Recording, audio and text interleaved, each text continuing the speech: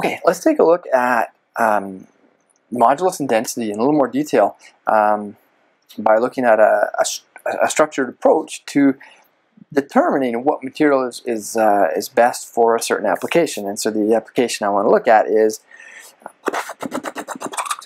that was my helicopter sound, um, a, a helicopter rotor. Okay, so I mean this is a little model helicopter, but in fact uh, the same, uh, very some, some very similar loads are applied. So this this thing here, the, the blade, if you will, is called the rotor on the helicopter. What would be the best material to make this out of um, for, in fact, either this helicopter here or, or, or more realistically a, a, a large one? Um, so let's take a quick, quick, quick look at that. Um, And so what I've got here, and we're going to return to, is a sketch, again, as we had in the last video, of all the world's materials, metal, ceramics, and polymers, and some different subsets of polymers, you know, foams and elastomers, and uh, some composite materials, including natural ones like wood. And we're going to, you know, come to a con conclusion uh, that there's certain ones that are best for um, for this particular application. So let's take a look at that application here in a little bit more uh, detail. Okay, so we're going to say, well, the rotor is, um, how is it loaded? It's, it's effectively a beam. It's loaded and bending. All right, it's loaded and bending. and why don't we go ahead and generalize the shape of the blade like this so that it's got a cross-sectional area and it has some length as well okay? So we're not going to account for the complicated geometry of it but in fact that for our purposes of selecting the material actually doesn't really um, doesn't really matter. So it's loaded and bending is what's important, and it's a helicopter. So we want to, um, specifically, we, we want to, if you will, if you write out the objective here, our main objective, not supposed to be an objective, would be to minimize mass. Not min, minimize mass. And what would the mass of this geometry be? Well, it would be mass could be equal to the area times the length times the density. There's our density, right? It's going to give us volume, mass per volume, so we can end up with mass. Um, but of course, we're going to have, well, many constraints. But the one I want to look at here would be a constraint on the maximum amount of deflection, max deflection. Okay, let me show you with our little model what I mean by that. So the rotors are sitting here like this, okay, and it starts to support the load of the helicopter. In fact, if I just take these two rotors and I hold the weight of this little model helicopter, um, there you can see, uh, they're wobbly, you can see that they deflect. Okay, there you go. That's the deflection I'm talking about. Now, if it deflected, even if that, that's just elastic deflection, right? But if under load it deflected so, like, you know, this much, well, it's throwing going to be throwing air off to the side. It's not going to be efficient. It's not going to provide the lift it needs. So the design um, would would stipulate some maximum deflection that you could permit in this blade, and that's the, the only thing for our purposes right now we're going to look at. So the deflection. And I don't expect you to just know this, but the deflection of a beam um, um, loaded and bending is going to be that's going to be FL cubed um, over some constant, which is going to depend on the specific um, cross section, divided by, there's the Young's modulus. And then some function here, uh, well, this is in, the area is introduced through the second moment of area, but we're, you know, it's not a beam mechanics course. So really, I'm just giving you a general formula here for the deflection. And that is, as I said, that's the Young's modulus, okay? Young's modulus and this is area. What's important is to see it's a function of the area squared, 1 over the area squared. Okay, now in, um, in a beam, the length is stipulated by the design, but the area you could say is, a, is, is um, the free variable. So we can isolate, what we do, the technique we could do here is we could isolate for the area. So area then is going to be equal to um, FL cubed over that constant, the Young's modulus, deflection, and then that whole thing raised to the 1 half. Um, perhaps I should, just to be thorough, deflection. That's the deflection of, say, the tip of the beam of the rotor. Okay, so there we go. Now what we can do, this neat, in this material selection um, approach, um, is, and, you know, and again, I'm using this as a illustrative purpose. You don't have to know exactly how to do all these steps for this course, but I think it demonstrates a really, really neat result um, in, in choosing materials for a certain application. Okay, so then what we can do is we can substitute that into back into our um, objective, um, which was again mass equal to area. Okay, so that's FL cubed over that some con that constant E deflection to the one half times length times density. Again, I'll just zoom back up to the top here for you so you can remind yourself. There we go. We had mass equal to area times length times density, but we've rewritten the area in terms of this constraint for deflection. And then we substitute that back in. And now, what we're doing, I'm not going to go through a full robust treatment, but the interesting thing here is, is this. Look, if we look at the material properties, we've got e to the 1 half, and we've got rho. Okay, so just the material properties that we want to look for would be we want to minimize rho over e to the 1 half. Or often, instead of minimizing, we like to maximize. So we say we're going to maximize e to the 1 half over rho. Okay? And we could even, in fact, call that, as, as sometimes we do, what we'll do is we'll, that term there, we'll call that, because that's derived for this specific application, we'll call that a material performance index. And we're only looking at the material performance here, or MPI. We say the MPI is e to the 1 half over rho. Now what we could do though, because we, we in our at the very top of the, this um, our, our, work, we wanted to look at log e. Whoops, I have to clear that up. That's logarithmic, right? We're looking at log e versus log rho, aren't we? So what we can do then is take the log of both sides of this MPI equation that we have at the bottom. go and we'll take log that MPI equals 1 half log e minus log rho. Now we want that in the form of a straight line, y equals mx plus b. So I'm just going to rearrange a little bit here. We're going to plot e versus rho. So we're going to have, or log e rather. So we'll have log e equals um, log rho. We're going to clear that fraction, so it's 2 log rho plus 2 log MPI. So we have now a slope of 2 on our curve. We're plotting log E versus log rho. The slope is 2. So now if we go back up to the top, this is beautiful stuff. This is great.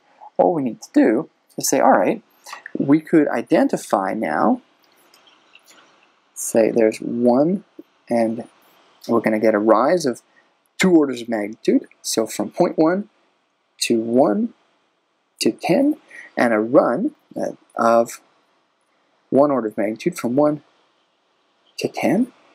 And there we have a line with a slope equal to 2.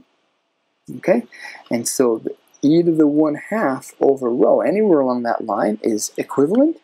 And in fact, as the intercept is the materials performance index, if we increase that line, we move it up, we get better and better values or better and better materials. So you can see, I think it makes some intuitive sense, right? if we you know move along to higher and higher values here, you know, draw this along, um, you will get better and better performance for this rotor, which is really you could call it um, a lightweight, stiff beam. Okay, and so what's the best material going to be? Well, I actually can draw this ideally. Um, woods would probably be a little bit below this um, and not have the requisite modulus. Um, um, anyway, there will also be uh, some inconsistent properties, even if they did actually perform well. Although you can, it's interesting. You could see, you know, a model aircraft, a wooden aircraft, a little, you know, where the consequences of failure are low. Certainly, you can make a model aircraft from wood. It performs quite well. It's quite a lightweight, stiff material, uh, low cost. Uh, but if there was a minimum threshold, as there would be in this case on the modulus, you know, the modulus of wood less than 10 gigapascals wouldn't cut the cut. Um, wouldn't make the cut. So you'd eliminate wood, you'd be left with some, some technical ceramics perhaps in here and some composite materials. The ceramics you'd exclude because, well, you don't want brittle fracture, so you're going to rule those out because they're brittle. And so what do you end up with? Well, you, you, you find that um, and here you have some high performance composite materials like carbon fiber, reinforced polymer. And that, in fact, is what you would use for um, a high performance uh, rotor on a helicopter. Um, and there's other design considerations you could you could uh, include if it's going to be flying in a sandy environment. And that rotating blade will get abraded by sand. You might want to put a high, uh, you know, a similar high uh, stiffness, lightweight material like in this region, you'd, probably, you'd have titanium, so but it would have a better wear resistance than the carbon fiber. So you could put the leading edge, you'd put some titanium uh, alloy on the leading edge, and have a car carbon fiber uh, rotor.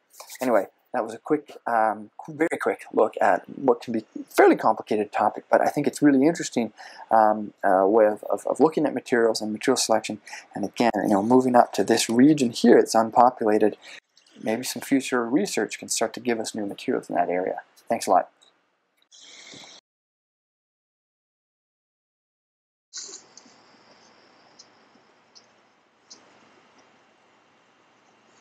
Okay, in the previous video we, we discussed the fact that a lot of materials are crystalline.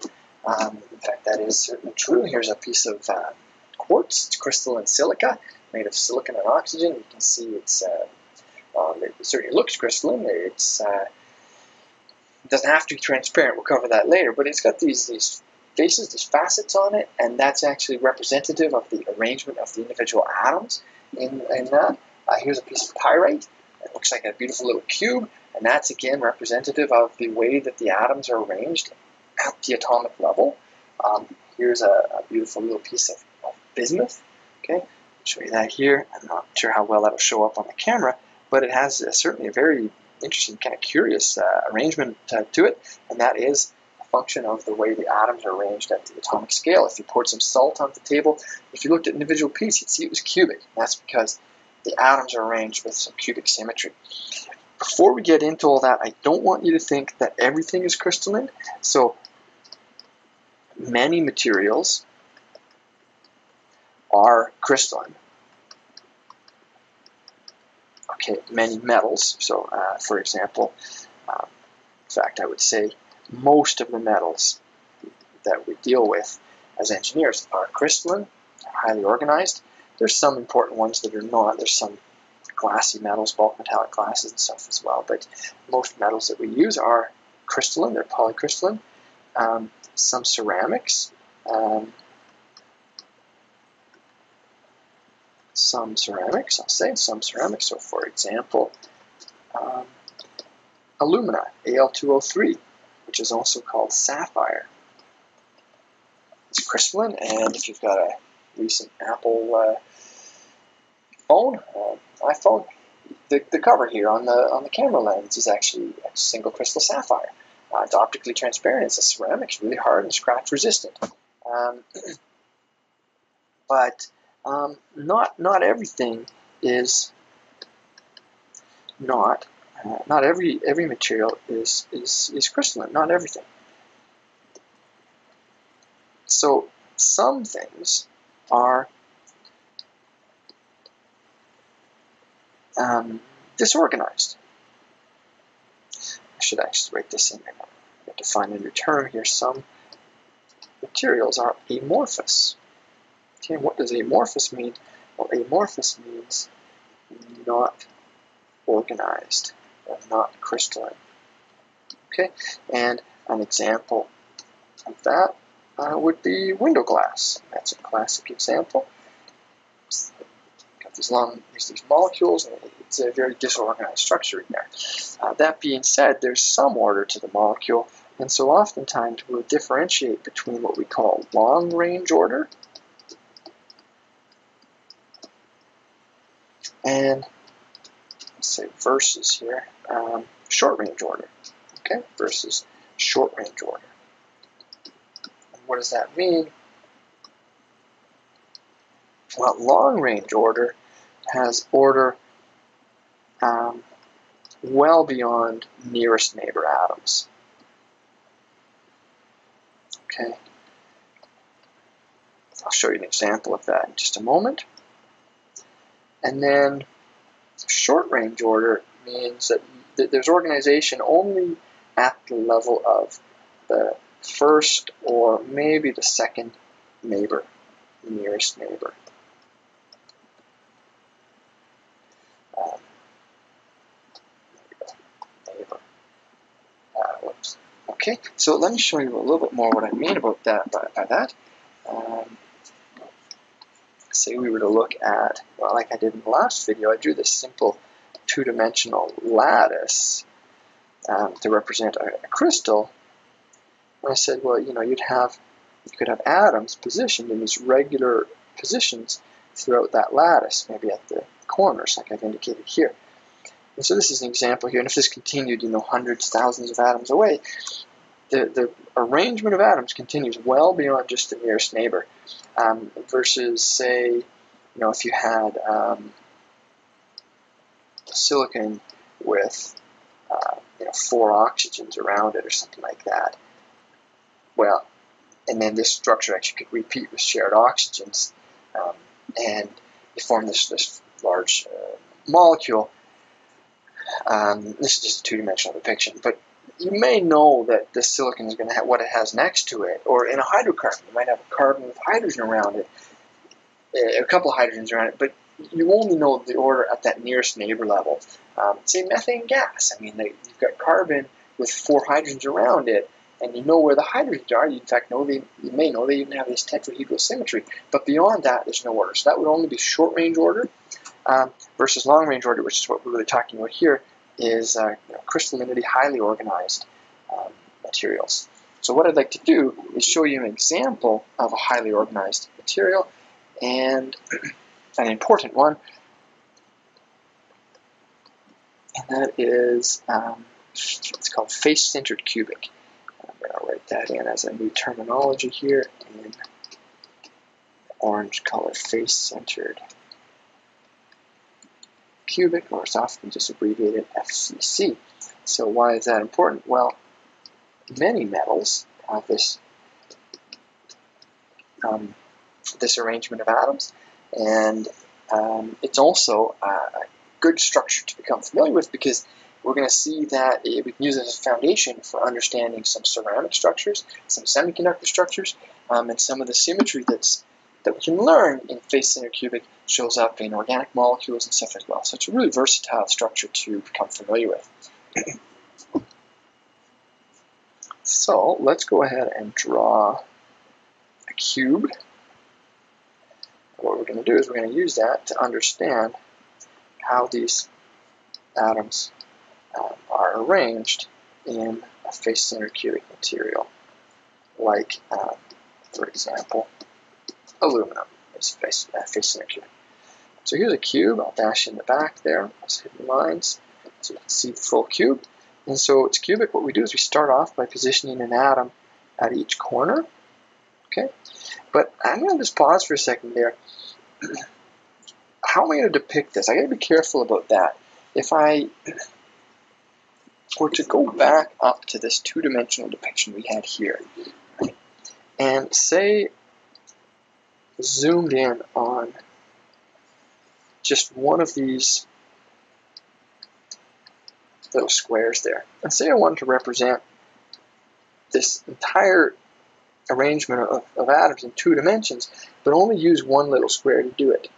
Well, what I could do is just take the square, but take a fraction of the circle in two dimensions. I would take a quarter at each corner. And so I'm going to do a similar thing with my cube, but now that the cube is in three dimensions, the corner positions contain actually one-eighth of, of a full sphere. Okay, so that's what I'm going to try to draw in carefully. Now, I won't always, I won't always draw it this carefully, um, but uh, to first introduce the topic, I'm going to try to draw as if it was just a, uh, the, the, fraction of the atom that it really represents. Going forward, often I just draw the little dot because it's it's a, it's a heck of a lot faster than what I'm doing right now. What I find when I'm first teaching the topic, a lot of times students really benefit from seeing it depicted a little more carefully like this. And then there's the face-centered positions, so up in the top in the center of the face there, and then on the right side face in the center, on the front side uh, in the center, and then the opposites. So from the top we have them down to the bottom, there would be one down here. From the front to the back, there's one in the back of the uh, center of the back face, and then the right would go all the way over to the left, and the counterpart over there would be on the left side facing the center position. So each of these corners, as we mentioned, has one eighth of an atom or of a sphere. And there are eight corners. So we get one atom contributed from the corner positions within the cube only, right? And then there's one half of a sphere on the center position. And there are six faces. So we end up with three for a total of, in the FCC unit cell, four atoms within the cube. So now armed with that, it's actually interesting. What we can do is we can now calculate um, a property. And what we're going to do is we're going to calculate the, um, the density. So the density we addressed in the previous um, lecture should be the mass per unit volume. So could we calculate the density of, say, aluminum from this, uh, from knowledge that it has the FCC unit cell? Yeah, well, of course you could. And So it will be um, mass per volume. I'm going to write it down uh, right here so we have a bit of space. Okay. The density is going to be then equal to the number of atoms in the unit cell times how much each atom weighs. And what's that? Well, that's the atomic weight, or molar mass. Okay. And then we're going to divide by the volume of the unit cell. Now, to get the volume of the unit cell, I should specify that we define the edge length here of the cube as a, we call that the lattice parameter. Lattice parameter. And this is the volume unit cell. Now I just want to stop for a second here and look at the units that we've got so far. So we've got units of number, um, atomic weight or molar mass from the periodic table has um, units of um, grams per mole. And then in the denominator there we have the volume of unit cell, which will have length units cubed. So we look at this and we say, well, this is irritating. We're trying to get units for density of mass per volume, but we're, we're, we're not getting there. So what are you missing? Well, what has units of number per mole? Well, of course, Avogadro's number. So if we add Avogadro's number into the denominator, and then we get number per mole, the units work out, and this is our final equation. We've got uh, density units, grams per cubic meter in this case, which you could convert later. Just something like grams per cubic centimeter. And so this is going to get a little red box because it's an important equation. And I will just complete this by identifying that that's the Greek letter rho. That is the volume of the unit cell. Just give myself a little bit more room here. The volume of the unit cell. This is, of course, the number of atoms in the unit cell. And and that's Avogadro's number.